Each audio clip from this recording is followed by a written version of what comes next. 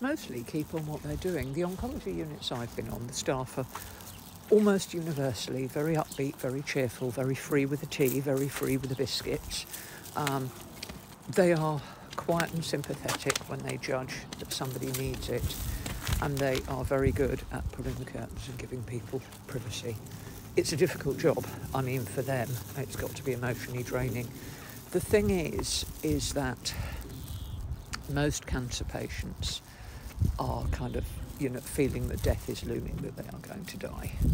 As I have repeatedly said, for most people diagnosed with cancer, they will survive.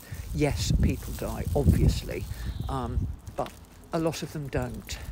And the most important thing uh, that patients can do is try and keep fit and healthy as far as they can and try and keep their weight up because as long as they're fit and healthy and their weight is up, it means that it is safer to go on treating them. So, one of the things that you can help do if you're there is to help keep people in the mindset where they can eat. Of course, you're scared you're going to die. That's a thing, and you've got to be aware of the fact that a lot of people will be frightened that they're going to die. Some of them might be, you know, and a lot of them are older people as well.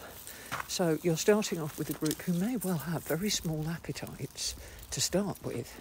So if you can keep them in that kind of mindset where they they're going to carry on nibbling, eating, tempting them, they're going to feel able to carry on with the treatment, you will be doing them a, a favour. You know, but like I said, I have yet to meet a nurse on an oncology department who wasn't absolutely fantastic. They are all brilliant. So